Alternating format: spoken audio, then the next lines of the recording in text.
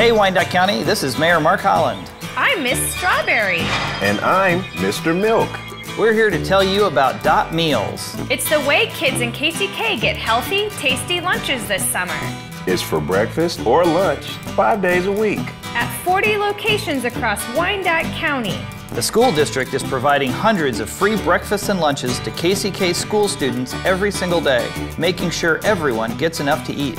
But now we're serving free meals during summer too. And you don't have to be in summer school to eat. All the ingredients are fresh and healthy too, so you can get all the nutrition that you need. It doesn't matter what you're doing this summer, if you're shooting hoops like Ms. Strawberry, Yes. dancing like Mr. Broccoli, reading like Ms. Banana, or rolling like Mr. Taco. Come see how Dotte Meals rock. Oh, yeah. Dotte Meals rock.